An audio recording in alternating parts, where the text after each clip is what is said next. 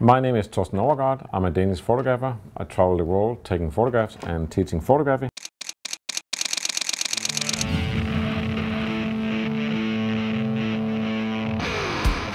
The Leica TL is a new camera and it's actually called the TL2 and I will make a point that it's a new camera even that when you look at this video in uh, three or six months it's not new anymore.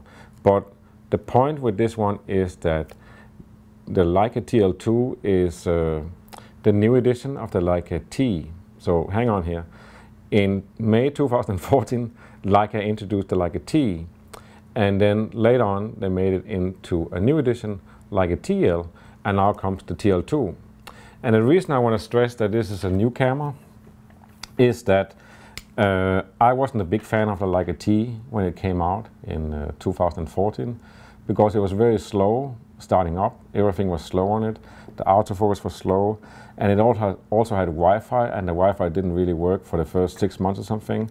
So I kind of joked to myself that it's like an iPhone without Wi-Fi and I'm glad I didn't uh, announce that broadly or write about it because it would be really hard to talk about the TL2 uh, if I uh, had hated so much on that camera. If we go back to 2014, the new thing that Leica did was that they said, okay, let's make a completely new camera from bottom up. Let's do 10, 12 different uh, camera concepts and let's see which one we want to go ahead with. And the one they chose was the Leica T, uh, which is now the TL2. And it's a unibody, so that means it's like one piece of aluminium. Uh, there's nothing, uh, there's not a lot of stuff screwed together or, or, assembled. It's just one piece of aluminium where you stuff in all electronics and stuff. That camera was actually really well received. It had a lot of new designed straps and, and everything that was very special for the T and it has like a whole new concept of just being a touch camera. Uh, and it doesn't you can see it's so minimalistic. It doesn't really look like a camera if you compare it to uh, just another simple uh, a camera like the Q here that everybody agrees is so simple and nicely designed. But if you look at those two together, this is so minimalistic. It's uh, almost unbelievable that you can make a camera like that. So that's what they did. And then they realized that this thing has to be rebuilt. It has to be made so it's actually really fast and high tech. And that's what they did with the TL2. And I can say now that one thing I would uh, suggest everybody does, uh, if you never tried a Leica T or like a TL, uh, you just heard about it, or even if you tried a Leica T or TL, as soon as you pick this one up, it's a completely new uh, experience. And I'll touch back on that a little bit later. But it is really totally new camera. It looks a little bit like the, the previous model, but this is actually really a new one. The point with the Leica TL2 is that this is actually a really good camera as it is. And I find it a little bit hard to explain, but uh, I had a funny story. I went to Rome uh, with this camera and my uh, Leica M10 here that I was really proud of. And one of the things I did was that I went to uh, the Vatican. Uh, the American painter, uh, Dick Zimmerman was there. And the funny thing with Dick Zimmerman is that he was the one who did the Michael Jackson thriller cover. So he's been a photographer all his life, but now he does oil painting. So he was there delivering a painting to the Pope. So I took some photos of that, but also uh, he tried this camera and he really liked this camera. And at one point, he's sitting and he's looking at me and then he says, so when you have this, the Leica TL2, why do you have the M10? And I'm like, I actually don't know because what I would do, I wouldn't necessarily take both cameras out at the same time. I would take out just the TL2 or the M10. And one of the reasons I would do that is that I can actually do anything I want to with the TL2. Um, but the whole concept of the TL2 is so different from this concept, uh, so I can't really explain why would I have both cameras, but uh, you could say the TL2 really works by itself, and of course the M10 also works by itself. So it's not that this one does a lot of stuff that this one doesn't do, or that the M10 does a lot of stuff that the TL2 doesn't do. They kind of can do the same quality and the same things, but the whole concept of operation is just entirely different. And I can't really tell or predict who will like to have the M10 or who would like to have the, the TL or even the Q because the, the whole simplicity and the touchscreen and everything of the TL2 seems to apply to some people where it's just like, wow, I really like how this camera works. And, and one of the things I really admire in this is the simplicity of operation. It is really uh, simple to use and now it's uh, extremely fast. I mean, it's, it's, it's so fast you don't even think about the speed because it just works. So that's a really great thing and, and, and I mean the only way to to get an idea what is this camera is just find one, pick it up and try it. Uh, that will give you a pretty good idea what I'm talking about. So the Leica TL2 is a completely new concept in cameras when it was uh, developed in 2014 and nothing has really changed in this one. Uh, you can really tell from the outside that this is the TL2 and not the TL. The only two things you can tell is that it says TL2 up here instead of TL, and it doesn't have the flash. It had the TL had a built-in flash that it was so tiny nobody really cared to use it, so it's gone. And you could say you do have uh, the flash shoe here, so if you want to shoot flash, you can do that, but on the other hand, you can go to 50,000 ISO, so why would you need a, a flash? So most of the time you're going to have an EVF on this one. And the new thing about this camera is that you turn it on and then you have the picture here and then as soon as you press here, this is your menu. So you can see it's very simple. I have cut it down to just nine things on my menu. And here I can control ISO, white balance, and uh, the way I focus, and focus point, and everything, and exposure compensation. And when I want to do anything to this camera, I just press for example, ISO here, and then I can scroll and say, okay, I'm going to go 12,500 ISO, and that's all I have to do. There's no dials, there's no nothing. It's all in here. And one of the cool things about this menu is that I can actually customize it. So I could go down here and say plus, and now I get everything. So I could say Wi-Fi.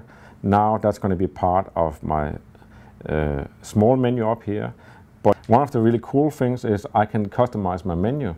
I can click here and I have the menu here and I can just hold down a symbol and then you see I have a waste bin. I just drag it over to the waste bin and it's gone from my menu. It doesn't mean that it's completely gone because I can scroll down. Uh, if I say plus down here, then I get all the other things that I might want to have in my menu and then I click those and they get added. So the simplicity of it is just like touch and the more that we move in or move ahead in time, it makes more and more sense that of course you want to have touch touches. You have it on your phone, you have it on the screen in the airplane, you have it on in the mall when you want to find out where which one which store is, you just have a touch screen. So this makes totally sense that you make a camera with touch and apart from that it has the on and off button and it has this one you can do 4K video on it and then you have the two dials here that's going to be defined by uh, which program or which mode you're using it. So you see here, I go here, and then if I get, right now I'm in automatic, so if I go here, and then I say I want to go in uh, manual, now I have it here, and now I can have, I have F and shutter speed. So this is, means those wheels up here is now my, F, my uh, uh, f-stop and my shutter speed. So these two wheels doesn't have any uh, text on them or anything. It's totally defined by what are you doing in the camera? What are you going to use the wheels for? And that's how simple it is. If we look at the bottom here, I put on uh, tape. I don't like all the numbers saying that it's approved for kids and stuff like that, so I blacked that one out. But one of the things that I also really like about this is just a small detail is the battery here. And it works like the, the SL, like the big uh, Leica camera, that you have the battery here. And the battery is actually part of the bottom plate of the camera. So you don't have to open up a door and then click out the battery. When you put in the battery, that is also the bottom plate. So there's lots of things in this camera that's really uh, thought through really well. And overall, it's just pure simplicity. And well, uh, there is actually one little door here, and that is the SD card. Uh, and it has so you can plug in uh, mini USB and USB-C. Um, but it's a very, very simple camera. And in some ways, it's almost maybe the people that like this camera is people who usually use an iPhone, but now they want a real camera And you can say if you're used to an iPhone and you, you like the way things work, with touchscreen, why wouldn't you get a camera with a touchscreen where the philosophy is just as simple as an iPhone? It's actually simpler than the iPhone these days. But the image quality is like a professional camera. So the image quality of this is going to be the same as, as this.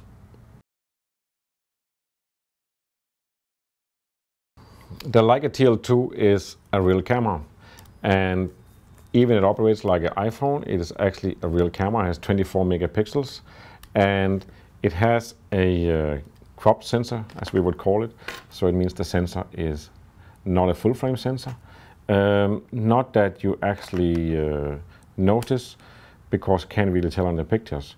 There's a little bit funny thing is that the lens here I have on this one is a 35 1.4, but the picture I see is not 35 millimeter, it's a crop picture, so it's almost like a 50 1.4. And I asked Leica, why do you call it 35 when I only see 50? And then they said, well, it's because it is a 35 millimeter. And that's an answer that made me wonder a little bit because does that mean that it could be a 35 millimeter with a bigger sensor or something. Uh, I don't really know. So the short and the sweet is when you shoot with this one, you can get 24 megapixel uh, pictures in uh, really high quality. And by high quality, I mean it's just like the M10 and uh, the Leica SL and the Leica Q. And it's a very interesting thing that Leica have. Basically, all the cameras right now is 24 megapixel. The big uh, Leica SL is a 24 megapixel. The M10 is 24 megapixel. The M240 that came four years ago was 24 megapixels. Uh, the Leica Q is 24 megapixels, and now this one. And in my opinion, that's a really good strategy because I don't want a camera like this with 50 megapixel uh, files because it's just going to slow down my whole workflow with my computer and everything. And 24 megapixels is plenty to create a sharp enough picture with enough definition. Actually 18 megapixels would be enough, but 24 is, uh, is great. So that is the sensor. The ISO goes from 100 to 50,000 uh, ISO. And I would say that the 50,000 is actually usable in this one. So that's kind of uh, interesting. If you look at the article on my website, you will see some uh, samples I did. I'm not a big fan of high ISO because I don't think that you really need 50,000 ISO. But it's always interesting to see when a camera says it can do 50,000 ISO, can it actually do it? And it can. Uh, the battery here is enough. And by enough, I mean that uh, for normal days shooting, that battery will do fine. If you're going to shoot uh, a full day and you want to take a lot of pictures, you are some in Rome or some interesting city, uh, you should have extra battery. If you want to do video, it might be entirely different story. This one does 4K video. I will say the quality is great and so on, uh, but always when you shoot video, one of the problems you have is stabilization and the sound. There's those two small microphones here, and usually that means that the main sound you get is your own breathing. So um, that's something that if you want to do 4K video with this one, you can do it, but then you have to choose a style where maybe you add music after or you put in a tripod or something. That's an entirely different story. It's great that it has it. Uh, and I shot uh, some test movies in uh, Rome and, it, and, and, I was actually amazed how well it worked. and There's not much technical to say about this camera and that's one of the good things. There is this thing that you have the SD card here, but this one you can actually shoot without SD card because this one has 32 gigabytes of internal memory. So you can just take the camera out without SD card and then you basically have enough space for quite a lot of pictures. I think it's 600 or 800 pictures you can do on that uh, size of card. Um, you can shoot RAW in it. So RAW is always color and then you have you can shoot JPEG at the same time, and you can set the JPEG to, for example, a muted color, which is, looks really good on this one. You could also set it to black and white JPEG, so you have color and black and white at the same time. Um, the EVF here is something I think you must have, but that doesn't mean that it's true for everybody. I mean, some people would like to just use the camera like this. You look at the screen and you can even set it so you have touch autofocus. So where you touch is where the focus is and it takes a picture at the same time. I wouldn't do it like that. I would always put on uh, the viewfinder here and then I program this button so it's not my video but when I press this one it goes up to the EVF and then one I have a diopter here so I can adjust for my eyesight mine is fine so it's going to be straight here and you can see you can, can scroll up here so you can shoot like this uh, and the autofocus works really, really fast. You could say that's almost all there is to say about the technical stuff. Um, the interesting thing is, and what also makes this a real camera, is that, yeah, the quality is like this, but you can actually use other Leica lenses. You can use the SL lenses, and if you look at the article on my website, I, I was using the 50 1.4. That's a big lens made for the Leica SL. Uh, you can also put on uh, M lenses here, and then you need an adapter. It is this little baby here. So you put on this one, and there we go. And I can put on, for example, this Noctilux lens that I like a lot. And of course, that's going to make it into a 75, 90 millimeter Noctilux or something. That just makes it even more interesting. Um, and then suddenly when you go here and you go manual focus, then when you look at the screen here, then you actually use this wheel suddenly to zoom in so you can actually focus correctly. And then uh, you can shoot a series of that. So you can put on M lenses and that means, in case you don't know, that when you put on M lenses, you can put all, all Leica lenses from the 1930s till today. So that's a quite a lot of lenses and a lot of uh, historic and very interesting looking lenses. And I tried just for the fun of it, I said, oh, I also have a uh, like an M to R adapter. Can I put on uh, the R lenses? And I can, because then I go like this, and I have a really nice R lens here. This is 81.4. That's my favorite lens from the from the R system. And the R system is the one that Leica made. Uh, that was the SLR system, first with film, and then they made a digital back. And at one point they said, okay, we're not going to do the R system anymore. And then a few years, years later, they came out with the SL system that is kind of like the new SLR system, but without a mirror and a whole new series of lenses. But there's still a lot of these old R lenses around and they're really uh, awesome, a lot of them. And you see now it's stacked up with quite a few uh, adapters, but it does actually work. Uh, again, with manual focus. Uh, so I'll turn it on, turn it to the screen here, and then I can zoom in and see that's where my focus is, and then I can take some shots with that. So it's quite amazing flexibility on a camera that almost reminds you of an iPhone, but it is actually a real camera. And the only way to find out how it feels and everything is just uh, go into a Leica store wherever you can find uh, a TL2, uh, try it out and see for yourself. This is actually a very interesting camera. Where it fits in in the whole lineup, I don't know. Uh, I don't see a lot of people having an M10 and a Q and a TL2 and uh, a Leica SL. I met some people who said, yeah, this could be interesting as a backup to the SL because it takes the SL lenses and it has 24 megapixels and the quality is good and it's a very compact camera. Generally, there's people who have the M10 or the Leica M and then they also like to have a compact camera like the Q. Now this is also a possibility and it takes the M lenses and it's just a lot of interesting possibilities. And I don't think that you can really say who is going to be uh, uh, the target group for this camera. I think it's a little bit of a new target group for Leica.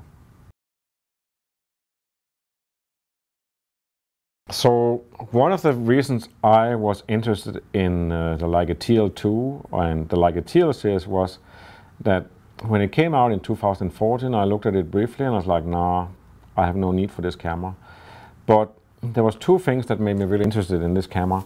And one was that every time I talked to uh, the lens designer at Leica, Peter Karbe, who makes uh, magic lenses like the Noctilux here, we would talk about lenses and he would almost always just go around and say, yeah, uh, the Leica TL lenses are really good.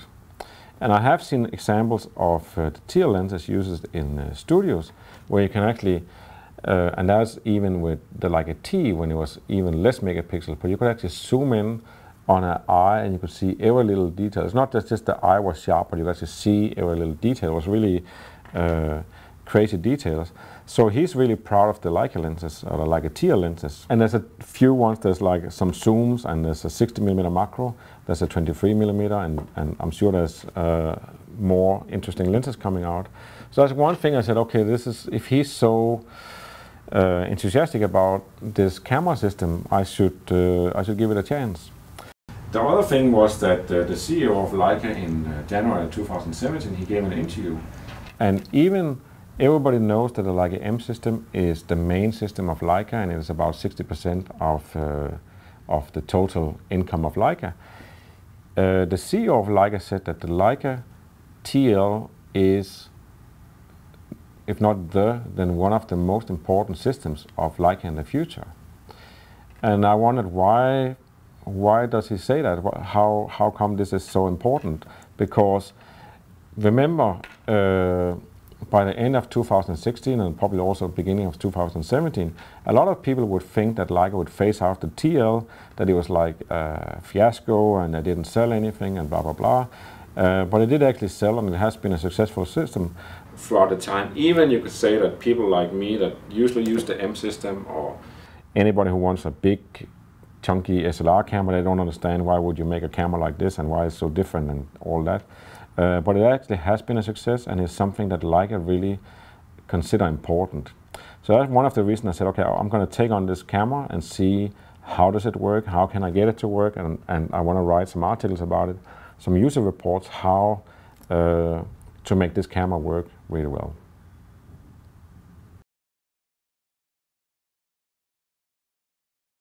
When the Leica T came out in 2014, it came out with a whole new concept, whole design strategy. It was a, a, a, lot of this history about it is just one piece of aluminium drilled out and, and all this stuff. And it also had like special uh, rubber straps in orange and yellow and other strong colors and, and, and you kind of had to plug them into the camera in a very uh, specific way. So you couldn't really use normal camera straps, which was kind of annoying because the plastic strap was too short. Um, that's not the case anymore. Uh, the way it works with this system is there's a little hole here, so you have the same thing as you use for your Samsung or iPhone, and you just pull out this thing, and then this little thing with the ring, or actually just this little thing, allows you to put on any uh, camera straps. The one I have on here is uh, tie her up, a leather strap. Um, I also have one here I've used a little bit, and this is one that is actually made for uh, the Leica X. Uh, and this one actually have the right link and they come in yellow, orange, blue and what have you. Uh, nice strap. And then for a while I just I just had to get, this is actually a Goyard uh, keyring strap. So uh, for the first while I just put this one on one side, I just had it uh, in one hand like this. Uh, that's not normally a way I want to carry a camera. I like that it's just hanging in a normal camera strap across, so I don't have to have attention on it. It doesn't take up a hand. But uh, but lots of possibilities to to do this, and it comes with. So you have this little box with where these metal things comes in, and that's where I put the small black ones. So you put them back in here, and then everything looks beautiful again, uh, like there was no start. It's kind of interesting little thing and I tried it even the, with the big 50 1.4 and, and it hasn't fallen off yet so so it seems like a, a workable system. So uh, nice and flexible way to uh, put on straps. That was my talk on the Leica TL2 I hope you enjoyed it. Uh, if you go to my website you can read the article with a little bit more about this camera. Um, and also on my website you can sign up for my mailing list. And when you do so you get a free ebook and of course, you get uh, newsletters in the future with uh, articles about uh, lenses, cameras, and light and everything. And also on my website, I have uh, my new Leica TL and Leica TL2 Quick Start course. And that's a video course that you can buy and download if you want to have some advice on how to use this camera specifically and on photography in generally. Thanks for watching and see you next time.